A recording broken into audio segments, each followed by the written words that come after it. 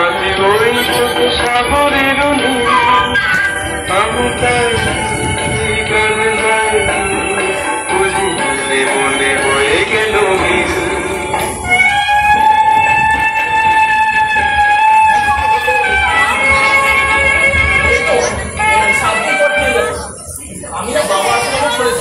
নাহলে একবার যদি বাবা চলে আসে হাজারটা প্রশ্ন করবে।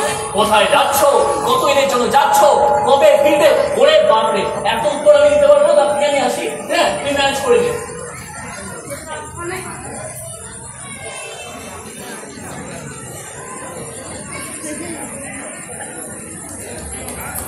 কোথায় যাচ্ছ? কলকাতা। কলকাতা? এদিকে সুটকেসটা রাখো। অফিস যাবে কেন? একটা কাজ ছিল। এর দ্বিতীয় কাজ। সুইস ফার্মের ওনার অ্যাকাউন্টটা কমপ্লিট করে রেখে আসার কথা ছিল। সেটা কমপ্লিট করে রেখে আসুনি কেন? বলো সেটা কমপ্লিট করে রেখে আসুনি কেন? এর জন্য কোম্পানি যে দু লক্ষ টাকার অর্ডার ক্যান্সেল হয়ে গেল। তার জন্য দায়ী কি হবে? তুমি? ওসব হিসেব পত্র করতে আমার ভালো লাগে ও। বাহ। হিসাব করতে ভালো লাগবে কেন? লোকসানটা ওর গায়ে থাকে না। প্রয়োজন মনে করি না। আর টাকা রোজগার করাটাই জীবনের সব নয়। ও তাই বুঝি এখানে ওখানে ফুর্তি করে বেড়াও। লোকসানটা গায়ে থাকে না। ইরেসপন্সিবল ওয়ার্কলেস মা কি হয়েছে আমি তো? তোমায় কি বলব? তুমি এক এক বিন্দু বিষয়টাও বুঝতে পারবে না। হিসেব করতে ভালো লাগবে টাকা রোজগারের চেষ্টা তো আর করতে হবে না। বললাম তো আমি প্রয়োজন মনে করি না। আর টাকা রোজগার করাটাই জীবনের শেষ নয় আবারও বলছি। অফিস সময় করে তুমি কি করছিলে? রেকর্ডিং রেকর্ডিং কিসের রেকর্ডিং গানে। তুমি গান গাও? হ্যাঁ। স্ট্রেঞ্জ নিজের কাজ কামাই করে কেউ গান গাইতে পারে এ কথা আমার জানা ছিল না। তোমাকে তোমাকে আমার ছেলে বলে পরিচয় দিতে লজ্জা লাগে। কি বলছেন কি আপনি? হ্যাঁ হ্যাঁ ঠিকই বলছি। শহরের কয়েকটা নোংরা বাইকিয়া লোক ছাড়া কেউ গান গায় বলে আমার মনে হয় না। গান সম্পর্কে এই ধারণা আপনার ভুল। ভুল? হ্যাঁ হ্যাঁ ভুল। সারা জীবনটাই লোহা লক্করের সাথে কাটিয়ে দিয়েছেন। গান বোঝার মতো মনের অবস্থা আপনার নেই। মানুষের ছেড়ে নিজে দু পয়সা উপার্জন করে গান সম্বন্ধে কথা ভালো তার মানে আপনি বলতে চান যে গান গাইলে আপনার শেরগাড়ে থাকা চলবে না। বলতে চান নয় বলছি। তুমি কি বললে?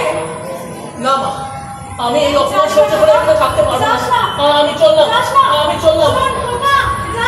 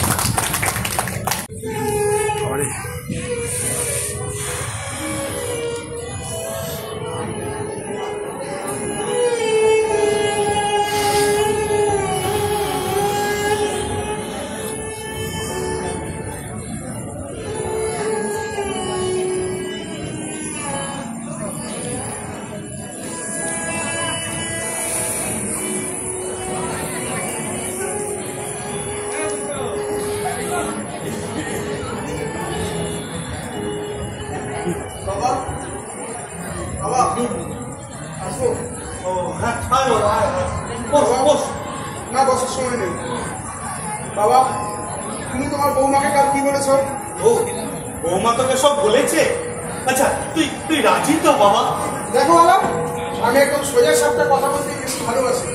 আমার সব আবেগ কিন্তু আমি পছন্দ হয় তোমার এই ঘরটাকে আমার একটা বড় পরিকল্পনা আছে। তোমার যে বাসনা আমি এই ঘরটাকে নিয়ে আর মিউজিক একাডেমি বানাবে। তাতে আমার একদম কোনো মত নেই। ভালো।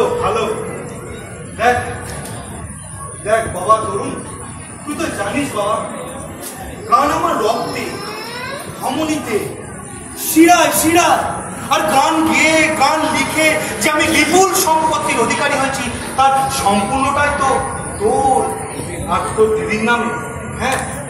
আর নিজের বলতে এই বাড়িটা, সেরা দিটা আর তোরা দেখো বাবা আমি তোমার বৌমা মিস সৌমি, আমরা খুব কর্পোরেট সেক্টরে চাকরি করি। সারা সপ্তাহ ব্যস্ত থাকি। আমাদের একটু সময় নেই। তোমার এই নিয়ে আমি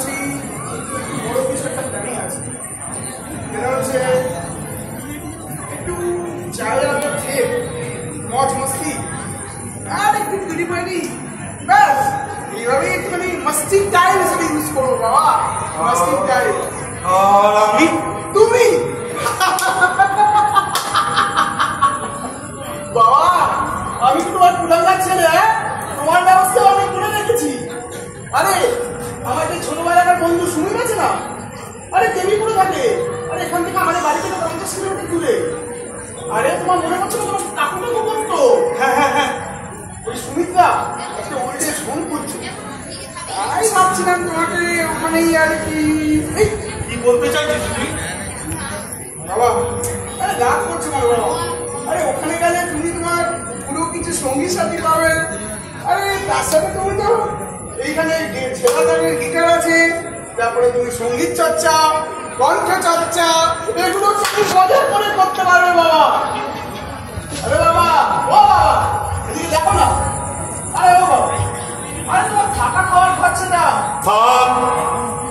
আরে কিচ্ছু বলার দরকার নেই। কিচ্ছু না। তোমাদের এই কর্পোরেট আর্টিফিশিয়াল পৃথিবীতে আমার চ্যাপ্টারের সব সুর, তাল, রাগ আর সবই অস্তরা হ্যাঁ সবই অস্তরা সবই একেবারে অস্ত গেছে? তুমি এটা বলতে চাইছো তো? যে সঙ্গীতালয় করলে আমার আর এই বাড়িতে থাকা ঠিক নয়। কি? বলতে চাই না বাবা বলছি। ভালো? ভালো ভালো। ছেলেবেলায় বাবার প্রতি শ্রদ্ধা থেকে বাড়ি ছেড়েছিলাম অভিমান বসে। আর আজ এই সুপুত্রের ঘরে বোঝা না হয়ে বাড়ি ছাড়ছি। না না না না দুঃখে না দুঃখে না। এই যে এই যে আমার আনন্দ আনন্দ অনাবিল আনন্দ আজ যে আমি মুক্তি। আমি মুক্তির স্বাদ পেয়েছি আজ। তুই চিন্তা করিস না বাবা। হ্যাঁ, আমি তোদের ঘাড়ে বোঝা হয়ে থাকব না। আমি আমার নিজের ভার ঠিক নিজেই একদিন বহন করে নিয়ে যাব। আমি সঙ্গীতালয় ঠিক করব ঠিক করব। আরে বাবা, শিল্প আর শিল্পীর যে মৃত্যু নেই মৃত্যু হ্যাঁ?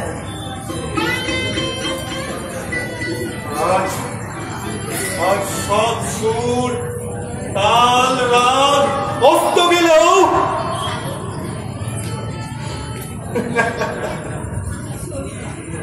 সমস্ত কিছু অস্ত গেলেও সে অপ আমরা আবার এক সূত্রে বাঁধবো। আর এই ছেঁড়া গীতা? হ্যাঁ দেখো দেখ দেখ। এই ছেঁড়া গীতা রে। এই ছেঁড়া গীতা নিয়ে খোঁচাবো অস্তরাগ রাগ অস্তরাগ